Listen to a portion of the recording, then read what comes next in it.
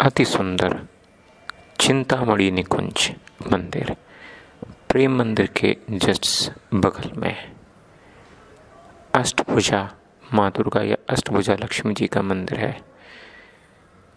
जैसे आप एंट्री करेंगे, ये बाएँ साइड में आपको हनुमान जी मिलेंगे बैठे हुए।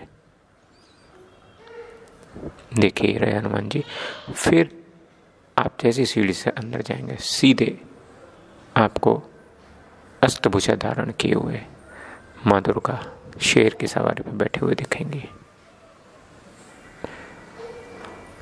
इसके सीधे हाथ पर राधा कृष्ण जी दिखेंगे।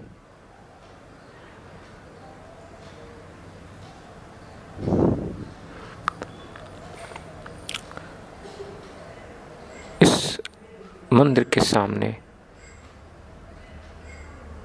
चौपाटी रेस्टोरेंट है जो कि आठ, साढ़े आठ बजे खुलता है। साढ़े आठ आठ बजे के बाद खुलता है।